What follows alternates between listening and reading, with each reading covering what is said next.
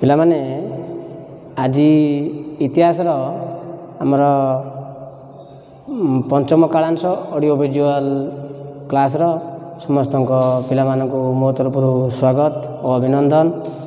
ଆଜି ଆମେ ଭାରତ ଛାଡ଼ ଆନ୍ଦୋଳନର ଓଡ଼ିଶାର ଭୂମିକା ତା ସମ୍ପର୍କରେ ଜାଣିବା। ତା ପୂର୍ବରୁ ପିଲାମାନେ ମୁଁ ଟିକେ କହିଦିଏ ଯେ ଭାରତ ଛାଡ଼ ଆନ୍ଦୋଳନ ଯେତେବେଳେ ଭାରତରେ ଆରମ୍ଭ ହେଲା ମହାତ୍ମା ଗାନ୍ଧୀଙ୍କର ଏହି ଆନ୍ଦୋଳନଟା ଥିଲା ଶେଷ ଆନ୍ଦୋଳନ। ଏହି ଆନ୍ଦୋଳନ ଉଣେଇଶହ ବୟାଳିଶ ମସିହାରେ ଆରମ୍ଭ ହୋଇଥିଲା। ଯେତେବେଳେ ଦ୍ୱିତୀୟ ବିଶ୍ୱଯୁଦ୍ଧ ଆରମ୍ଭ ହେଲା ଉଣେଇଶହ ଅଣଚାଳିଶରେ ସେତେବେଳେ ଇଂଲଣ୍ଡ ଜର୍ମାନୀ ବିରୁଦ୍ଧରେ ଯୁଦ୍ଧ ଘୋଷଣା କଲା ଏବଂ ଯୁଦ୍ଧ ଘୋଷଣା କଲା ପରେ ତାପରେ ଇଂରେଜ ମାନେ ଭାରତର ମହାନ ନେତାମାନଙ୍କୁ ନ ପଚାରି ବା କଂଗ୍ରେସ ନେତୃବୃନ୍ଦ ସହିତ ପରାମର୍ଶ ନ କରି ସେ କ'ଣ କଲେ? ନା କରିଦେଲେ ଯେ ମିତ୍ରଶକ୍ତି ପକ୍ଷରେ ଭାରତକୁ ଯୋଗଦାନ କରିବା ପାଇଁ। କିନ୍ତୁ ଭାରତ ମାନେ ଭାରତ ମିତ୍ରଶକ୍ତି ପକ୍ଷରେ ଯୋଗଦାନ କରିବା ସପକ୍ଷରେ ନଥିଲା। କିନ୍ତୁ ଯାହା ହେଉ ଭାରତବର୍ଷରେ ଏଇଭଳି ଭାବରେ ଆରମ୍ଭ ହେଲା ଭାରତ ଛାଡ଼ ଆନ୍ଦୋଳନ। ଏଇ ଯେଉଁ ଆନ୍ଦୋଳନ ଆରମ୍ଭ ହେଲା ଏ ସର୍ବପ୍ରଥମେ ମହାରାଷ୍ଟ୍ରର ଏଇ ଆନ୍ଦୋଳନର ଶୁଭାରମ୍ଭ ହୋଇଥିଲା। ପିଲାମାନେ ମୁଁ ଗତ କ୍ଲାସ୍ରେ କହିଥିଲି ମହାରାଷ୍ଟ୍ରରେ ଏହି ଆନ୍ଦୋଳନର ଶୁଭାରମ୍ଭ ହୋଇଥିଲା ଏବଂ ଏହାପରେ ଏହା ମୁମ୍ବାଇରେ ୱାୟାରଲେସ୍ କେନ୍ଦ୍ର ମାଧ୍ୟମରେ ଯେତେବେଳେ ସମଗ୍ର ଭାରତବର୍ଷରେ ଭାରତ ଛାଡ଼ ଆନ୍ଦୋଳନ ଆରମ୍ଭ ହେଉଛି ବୋଲି ପ୍ରଚାରିତ ହେଲା ଏବଂ ଏହାଦ୍ୱାରା କି ସମସ୍ତେ ଏହି ଆନ୍ଦୋଳନରେ ଯୋଗଦାନ କଲେ କୃଷକମାନେ ମଧ୍ୟ ଏହି ଆନ୍ଦୋଳନରେ ଯୋଗଦାନ କଲେ କୃଷକମାନେ ଥାନାକୁ ଘେରାଉ କରି ପୋଲିସକୁ ଆୟତ୍ତ କରିନେଲେ। ଏକଥା ମୁଁ ପୂର୍ବରେ କହିଛି କର୍ଣ୍ଣାଟକ ମହୀଶୂର ଗୁଜୁରାଟ ଉତ୍ତରପ୍ରଦେଶ ଏସବୁ ଜାଗାରେ ମଧ୍ୟ ଭାରତ ଛାଡ଼ ଆନ୍ଦୋଳନର ତୀବ୍ରତା ତୀବ୍ରତା ରହିଲା ଏବଂ ବିହାରର ପାଟନାର ପୂର୍ବ ଦ୍ୱାରରେ ସଚିବାଳୟର ପୂର୍ବ ଦ୍ୱାରରେ ପିଲାମାନେ କ'ଣ କଲେ ନା ଛାତ୍ରମାନେ ଜାତୀୟ ପତାକା ଉତ୍ତୋଳନ କରିଥିଲେ ଏବଂ ଦିଲ୍ଲୀ ରାଜସ୍ଥାନ ପଞ୍ଜାବ ଏ ସ୍ଥାନମାନଙ୍କରେ ମଧ୍ୟ ହରତାଳ ପାଳନ ହୋଇ ଭାରତ ଛାଡ଼ ଆନ୍ଦୋଳନ ଆରମ୍ଭ ହୋଇଥିଲା। ଏବଂ ତାପରେ ସରକାର କ'ଣ କଲେ? ଏହାକୁ ମାନେ ବନ୍ଦ କରିବା ପାଇଁ ସବୁ ପ୍ରକାର ଦମନଲୀଳା ଭାରତୀୟମାନଙ୍କ ଉପରେ ଆରମ୍ଭ କଲେ ଏବଂ ସଭା ଶୋଭାଯାତ୍ରାକୁ ବେଆଇନ ଭାବରେ ଘୋଷଣା କଲେ ଏବଂ ଭାରତୀୟମାନଙ୍କ ଉପରେ ଗୁଳି ଚାଳନା ଓ ଲାଠି ପ୍ରହାର ଆରମ୍ଭ କରିଦେଲେ। ଏଇଟା ଗୋଟେ ସାଧାରଣ ଘଟଣାରେ ପରିଣତ ହୋଇଗଲା ଏବଂ ବହୁ ଲୋକ ଏଥର ଆହତ ହେଲେ। ଯାହାଦ୍ୱାରା କି ଏଇଭଳି ଭାବରେ ଏହି ଆନ୍ଦୋଳନ ମାନେ ଇଂରେଜ ସରକାରଙ୍କର ଦମନ ପ୍ରକ୍ରିୟା ଭାରତୀୟମାନଙ୍କ ଉପରେ ଏଇଭଳି ଭାବରେ ଥିଲା। ତାପରେ ଆନ୍ଦୋଳନର କାହିଁକି ଆନ୍ଦୋଳନ ଭାରତ ଛାଡ଼ ଆନ୍ଦୋଳନ ଟିକେ ଧିମେଇ ଗଲା ତା'ର କାରଣ କ'ଣ? ପ୍ରଶମନର କାରଣ କ'ଣ? ଆମେ ପୂର୍ବ କ୍ଲାସ୍ରେ କହିଛନ୍ତି ପ୍ରଥମ ଜିନିଷ ହେଲା ନେତୃତ୍ୱ ଓ ସଂଗଠନର ଅଭାବ। ଯେତେବେଳେ ମହାନ ନେତାମାନଙ୍କୁ ସବୁ ଗିରଫ କରାଗଲା ଏବଂ ସେତେବେଳେ ଆଉ ଏଇ ଆନ୍ଦୋଳନକୁ ଚାଲୁ ରଖିବା ପାଇଁ କେହି ମାନେ ନେତା ରହିଲେ ନାହିଁ ଏବଂ ସଂଗଠନର ମଧ୍ୟ ଅଭାବ ରହିଲା ଯାହାଦ୍ୱାରା କି ଏହି ଆନ୍ଦୋଳନ ଧୀରେ ଧୀରେ କମିଗଲା ଏବଂ କଂଗ୍ରେସ କର୍ମୀମାନେ ଯିଏ ସବୁ ଭାରତବର୍ଷରେ ରହିଲେ ସେମାନେ ତାଙ୍କ ଭିତରେ ଆଉ ସମନ୍ୱୟ ଠିକ୍ ଭାବରେ ରହିପାରିଲା ନାହିଁ ଏବଂ ଏହି ସମୟରେ ଜମିଦାର ଓ ବ୍ୟବସାୟୀମାନେ ମଧ୍ୟ ଏହି ଭାରତ ଛାଡ଼ ଆନ୍ଦୋଳନ ସପକ୍ଷରେ ନଥିଲେ ଏବଂ ଏହିଭଳି ଭାବରେ ସରକାରଙ୍କର ଦମନୀଳା ଯୋଗୁଁ ଆନ୍ଦୋଳନ ଧୀରେ ଧୀରେ ପ୍ରଶମିତ ହୋଇଗଲା। ତାପରେ ପରେ ଏହି ଆନ୍ଦୋଳନକୁ ଦୁଇଟି ବିପ୍ଳବ ସହିତ ତୁଳନା କରାଯାଇଥାଏ ଗୋଟିଏ ହେଲା ଫରାସୀ ରାଷ୍ଟ୍ର ବିପ୍ଳବ ଆଉ ଗୋଟିଏ ହେଲା ରୁଷ ବିପ୍ଳବ। ଫରାସୀ ରାଷ୍ଟ୍ର ବିପ୍ଳବ ଯିଏକି ସତରଶହ ଅଣାନବେରେ ହୋଇଥିଲା ଏବଂ ଉଣେଇଶହ ସତରରେ ରୁଷ ବିପ୍ଳବ ହୋଇଥିଲା। ତାପରେ ପରେ ଏଇଭଳି ଭାବରେ ଭାରତରେ ଏହି ଆନ୍ଦୋଳନ ଧୀରେ ଧୀରେ ବ୍ୟାପିଗଲା ଏବଂ ତାପରେ ପରେ ଏଇ ଯେଉଁ ଭାରତ ଛାଡ଼ ଆନ୍ଦୋଳନ ସମଗ୍ର ଭାରତବର୍ଷରେ ଚାଲିବା ସତ୍ତ୍ୱେ ମଧ୍ୟ ଓଡ଼ିଶାର ମଧ୍ୟ ଏହାର ଭୂମିକା ଅତୀବ ଗୁରୁତ୍ୱପୂର୍ଣ୍ଣ ଥିଲା। ପିଲାମାନେ ଗତ କ୍ଲାସ୍ରେ ମୁଁ ତୁମକୁ କହୁଥିଲି ଯେ ଓଡ଼ିଶାର ଯେତେବେଳେ ଆରମ୍ଭ ହେଲା ଏଇଭଳି ଭାବରେ ଭାରତ ଛାଡ଼ ଆନ୍ଦୋଳନ ଏହି ଆନ୍ଦୋଳନର କାର୍ଯ୍ୟକ୍ରମ କ'ଣ ଥିଲା? ଏବଂ ଏହି ଆନ୍ଦୋଳନ ସମୟରେ ଓଡ଼ିଶାର କଂଗ୍ରେସ ତରଫରୁ ହାତଲେଖା ପ୍ରଚାର ପତ୍ର ବଣ୍ଟାଗଲା। ବଣ୍ଟାଗଲା ମାଧ୍ୟମରେ ଯାହାଦ୍ୱାରା କି ମାନେ ସମସ୍ତେ ଜାଣିଗଲେ ଆନ୍ଦୋଳନ କ'ଣ। ଏବଂ ସର୍ବପ୍ରଥମ ଥିଲା ଯେ ଖଜଣା ଓ ଭୂ ରାଜସ୍ୱ ବନ୍ଦ କରିବା। ଏବଂ ତାପର କାର୍ଯ୍ୟକ୍ରମ ଥିଲା ଜଙ୍ଗଲ ଜଙ୍ଗଲ ଆଇନକୁ ଭଙ୍ଗ କରିବା ଶିକ୍ଷାନୁଷ୍ଠାନ ମଧ୍ୟ ବର୍ଜନ କରିବା। ସରକାରୀ ଯେଉଁ ଅଫିସର ମାନେ ରହିଲେ ସେମାନଙ୍କୁ ଆମେ ଖାଦ୍ୟ ପଦାର୍ଥ ଠିକ୍ ଭାବରେ ପ୍ରେରିତ କରିବା ନାହିଁ। ଏହିଭଳି ଭାବରେ ମାନେ ଭାରତ ଛାଡ଼ ଆନ୍ଦୋଳନର ଓଡ଼ିଶାର କାର୍ଯ୍ୟକ୍ରମ ଏଇଭଳି ମଧ୍ୟ ଥିଲା। ତାପରେ ଏଇ ଯେଉଁ ଓଡ଼ିଶାର ଯେଉଁ ରହିଲା ଭୂମିକା ଏଇ ଆନ୍ଦୋଳନ ଓଡ଼ିଶାରେ କେମିତି ବ୍ୟାପିଲା?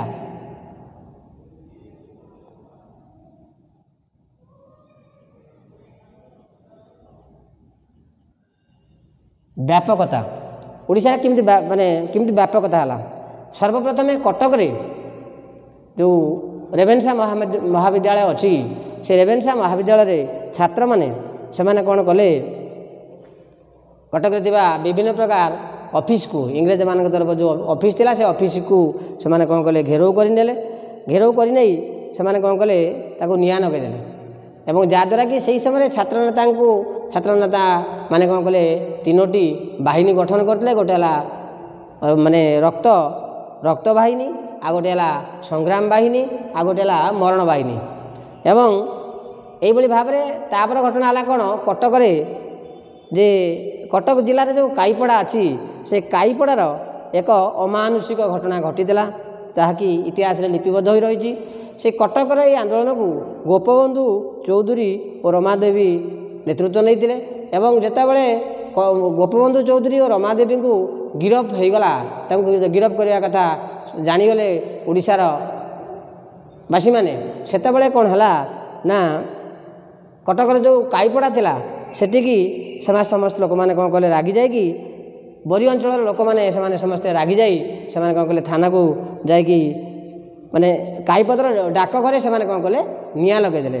ଏବଂ ଯାହାଦ୍ୱାରା କି ପୋଲିସ ଯେତେବେଳେ ଦେଖିଲା ଯେତେବେଳେ ନିଆଁ ଲାଗିଲାଣି ପୋଲିସ କ'ଣ କଲା? ନା ଗୁଳି ଚଳାଇଲେ। ଏବଂ ଯାହାଦ୍ୱାରା କି ସେହି ପୋଲିସ ଗୁଳି ଚଳାଇଲେ ତିନି ଜଣ ଲୋକ ମୃତ୍ୟୁବରଣ କରିଥିଲେ ଏବଂ ସାତ ଜଣ ଲୋକ ଆହତ ହୋଇଥିଲେ। କାଇପଦର ସତ୍ୟାଗ୍ରହୀମାନଙ୍କୁ ଗିରଫ କରି କାଇପଦରେ ଯେଉଁ ଏଭଳି ଅମାନୁଷିକ ଘଟଣା ଘଟିଲା ଇଂରେଜ ସରକାର କ'ଣ କଲେ? ତାଙ୍କୁ ସେଠୁ ଗିରଫ କରି ନେଇକି ଯାଜପୁର ରଖିଲେ। ତାପରେ ତା ପରବର୍ତ୍ତୀ ଘଟଣା ହେଲା ବାଲେଶ୍ୱର।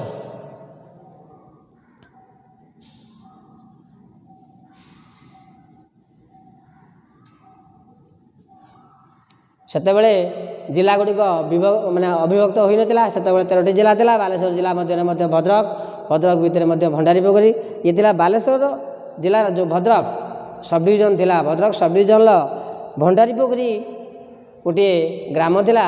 ସେ ଭଣ୍ଡାରୀ ପୋଖରୀ ଗ୍ରାମର ଉଣେଇଶହ ବୟାଳିଶ ଅଗଷ୍ଟ ସତର। ଉଣେଇଶହ ବୟାଳିଶ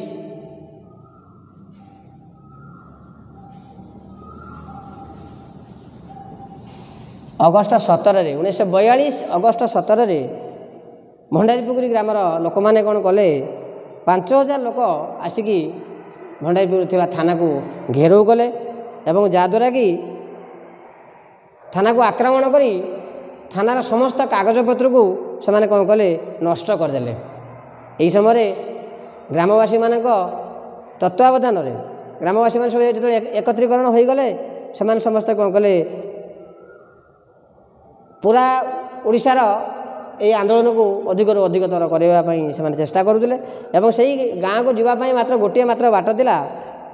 ସେ ଏବଂ ଯିବା ପାଇଁ ଏକମାତ୍ର ମାନେ ବାଟ ଥିଲା ସେ ବାଟରେ ଗୋଟିଏ ପୋଲ ଥିଲା। ସେ ପୋଲଟି କ'ଣ କଲେ ସେମାନେ ଭାଙ୍ଗି ଦେଇଥିଲେ ଏବଂ ବାରଟି ଗ୍ରାମ ସେ ଭଣ୍ଡାରୀପୁକୁରରେ ଯେଉଁ ଥିଲା ବାରଟି ଗ୍ରାମ ସେ ବାରଟି ଗ୍ରାମକୁ ଦୁଇ ହଜାର ଟଙ୍କା ଜୋରିମାନା ଦେବାକୁ ପଡ଼ିଥିଲା ଏହି ଆନ୍ଦୋଳନ ପାଇଁ। ଏବଂ ଏଇ ଯେଉଁ ଭଣ୍ଡାରୀ ପୋଖରୀ ଘଟଣା ବା ଭଣ୍ଡାରୀ ପୋଖରୀର ଯେଉଁ ଆନ୍ଦୋଳନ ଓଡ଼ିଶା ମାନେ ଭାରତ ଛାଡ଼ ଆନ୍ଦୋଳନକୁ ଗତିଶୀଳ କରାଇଥିଲେ ଜଗନ୍ନାଥ ଦାସ ଓ ଦ୍ୱାରିକା ଦାସ ଏବଂ ଏହି ଆନ୍ଦୋଳନ ଦ୍ୱାରା ସେ ମଧ୍ୟ ଗିରଫ ହୋଇଥିଲେ ୟା ପରେ ଆସିଲା ଭଣ୍ଡାରୀ ପୋଖରୀ ଘଟଣା ପରେ ଆସିଲା ପିଲାମାନେ ଧାମନଗର ଧାମନଗରରେ ଏଇ ଯେଉଁ ଆନ୍ଦୋଳନ ଚାଲିଲା ଏଥିର ଅନେକ ଲୋକ ଆସିକି ଯୋଗଦାନ କରିଥିଲେ ଏହି ଧାମନଗର ଆନ୍ଦୋଳନକୁ ସକ୍ରିୟ କରାଇଥିଲେ ଗତିଶୀଳ କରାଇଥିଲେ ମୁରଲୀଧର ପଣ୍ଡା ଏବଂ ଶ୍ରୀଜଙ୍ଗ ଗ୍ରାମର ମୁରଲୀଧର ପଣ୍ଡା ଏକୁ ଆଗମନ କରାଇଥିଲେ। ଶ୍ରୀଜଙ୍ଗ ଗ୍ରାମର ଜଣେ ଚୌକିଦାର ପୋଷାକ ପୋଡ଼ିଥିବାର ଖବର ପାଇ ପୋଲିସ ଏଠି ପହଞ୍ଚିଲା। ସିଜଙ୍ଗ ଗ୍ରାମର ଜଣେ ଚୌକିଦାରଙ୍କର ମାନେ ପୋଷାକକୁ ପୋଡ଼ି ଦିଆଯାଇଥିଲା ବୋଲି ଏ ଖବର ଶୁଣି ପୋଲିସ ଆସିକି ସେଠାରେ ପହଞ୍ଚିଲା ଏବଂ ଆସି ପହଞ୍ଚି ସେ କ'ଣ କଲା ଏହାକୁ ଗିରଫ କଲା ଏବଂ ଦଶ ଏଗାର ଜଣ ବ୍ୟକ୍ତି ସେଥିର ପ୍ରାଣହାନି ଘଟିଲା।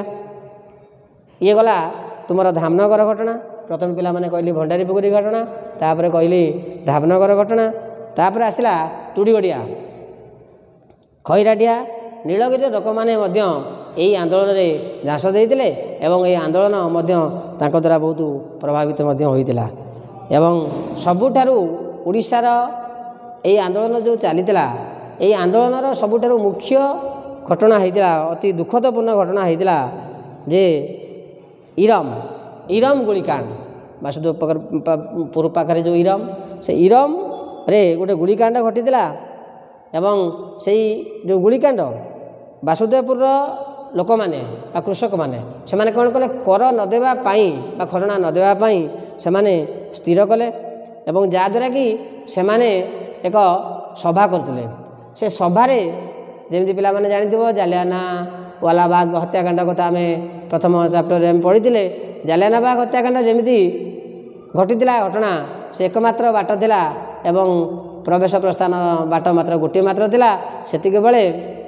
କିନ୍ତୁ ହଠାତ୍ ଅତର୍କିତ ଭାବରେ ଯେତେବେଳେ ଆସି ଏସ୍ ପି ମଧ୍ୟ ଗୁଳିଚାଳନା ଆଦେଶ ଦେଲେ ଗୁଳିଚାଳନା କଲେ ଯାହାଦ୍ୱାରା କି ସେତେବେଳେ କ'ଣ ହେଲା ନା ଲୋକମାନେ ମଧ୍ୟ ବହୁତ ଲୋକ ପ୍ରାଣ ହରାଇଥିଲେ ଏବଂ ଠିକ୍ ସେଇଭଳି ଘଟଣା ମଧ୍ୟ ବାସୁଦେବପୁରର ଯେଉଁ ଇରମ ଠାରେ ଲୋକମାନେ ଏକତ୍ରିତ ହୋଇ ବାସୁଦେବପୁର ମେଲଣ ପଡ଼ିଆରେ ଏକତ୍ରିତ ହୋଇ ଇରମ ଠାରେ ଏକ ସଭା କରୁଥିଲେ।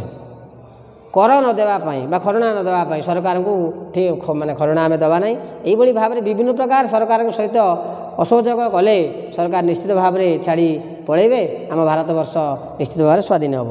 ତେଣୁ ଯାଉ ଉଣେଇଶହ ବୟାଳିଶ ସେପ୍ଟେମ୍ବର ଅଠେଇଶରେ ଉଣେଇଶହ ବୟାଳିଶ ସେପ୍ଟେମ୍ବର ଅଠେଇଶରେ ମେଳନ ପଡ଼ିଆଠାରେ ସମସ୍ତେ ଏକାଠି ହୋଇଥିଲେ ଏବଂ ଏଥିରେ ଏଇ ଯେଉଁ ସଭାଟି ହେଉଥିଲା ତାର ମାତ୍ର ପ୍ରବେଶ ପ୍ରସ୍ଥାନ ବାଟ ମାତ୍ର ଗୋଟିଏ ଥିଲା ଏବଂ ହଠାତ୍ ଅତର୍କିତ ଭାବରେ ମାନେ ଡିଏସ୍ପିଙ୍କ ନିର୍ଦ୍ଦେଶରେ ଗୁଳିଚାଳନା ହେଲା ଏବଂ ଯାହାଦ୍ୱାରା କି ହଠାତ୍ ଲୋକମାନେ ବାହାରି ପାରିଲେ ନାହିଁ ଏବଂ ଯାହାଦ୍ୱାରା କି ଏଇଥିରେ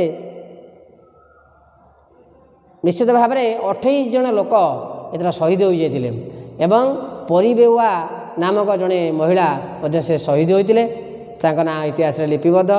ଇରମକୁ ଯଥାର୍ଥରେ କୁହାଯାଏ ରକ୍ତତୀର୍ଥ ଇରମ। ଏବଂ ଏହିଭଳି ଭାବରେ ଗୋଟିଏ ପରେ ଗୋଟିଏ ଘଟଣା ଘଟି ଚାଲିଥିଲା। ଇଏ ଗଲା ବାସୁଦେବପୁର ଇରମ ଘଟଣା। ପ୍ରଥମେ ଜାଣିଲେ ଆମେ ଭଣ୍ଡାରୀ ପୋଖରୀ ଘଟଣା ତାପରେ ଜାଣିଲେ ଧାମନଗର ଘଟଣା ତାପରେ ତୁଡ଼ିଗଡ଼ିଆ ତାପରେ ଆସିଲା ଆମର ଯେଉଁଟା ବର୍ତ୍ତମାନ ଆମେ କହିଲେ ବାସୁଦେବପୁରର ଇରମ ଘଟଣା।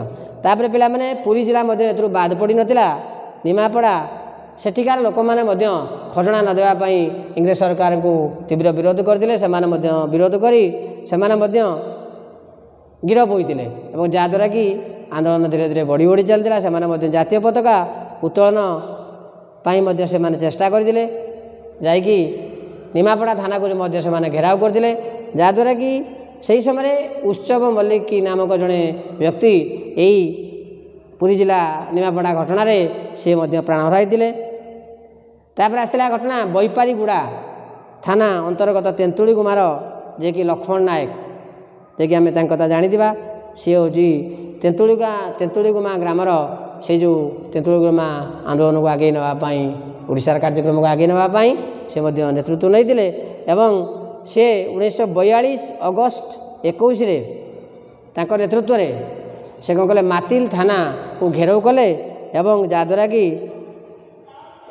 ଅନେକ ଲୋକ ମଧ୍ୟ ତାଙ୍କ ସହିତ ଆସି ମିଶି ଆନ୍ଦୋଳନକୁ ଅଧିକରୁ ଅଧିକ କରେଇ ନେଇଥିଲେ ଏବଂ ଯାଉ ବଡ଼ ଦୁଃଖର କଥା ଜଣେ ଜଙ୍ଗଲ ରଖି ଇଙ୍କୁ ପିଟି ପିଟି ନିର୍ମମ ହତ୍ୟା କରାଯାଇଛି ବୋଲି ଗୋଟେ ମିଥ୍ୟା ଅପବାଦ ତାଙ୍କ ନାଁରେ ଉଠିଲା ଯାହାଦ୍ୱାରା କି ତାଙ୍କୁ ଏଇ ଘଟଣାରେ ତାଙ୍କୁ କ'ଣ କରାଗଲା? ନା ହେଉଛି ଗିରଫ କରାଗଲା। କାହାକୁ?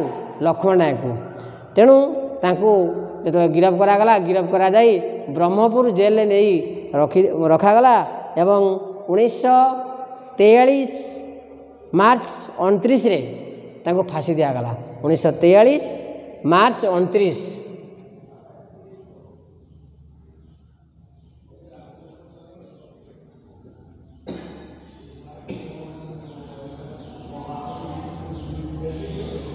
ମାର୍ଚ୍ଚ ଅଣତିରିଶରେ ତାଙ୍କୁ ଫାଶୀ ଦିଆଗଲା।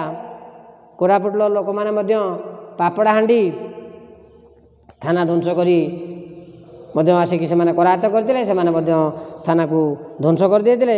ସେଥିରେ ମଧ୍ୟ ପନ୍ଦର ଜଣ ଲୋକ ମୃତ୍ୟୁବରଣ କରିଥିଲେ ଏବଂ ତାପରେ ଆସିଲା ସମ୍ବଲପୁର ଘଟଣା। ସମ୍ବଲପୁର ଜିଲ୍ଲା ସେ ମଧ୍ୟ ସେଠିକାର ଛାତ୍ରମାନେ ସେମାନେ ମଧ୍ୟ ସମ୍ପୂର୍ଣ୍ଣ ଭାବରେ ଇଂରେଜ ସରକାରଙ୍କର ଶାସନକୁ ଅଚଳ କରିଦେଇଥିଲେ।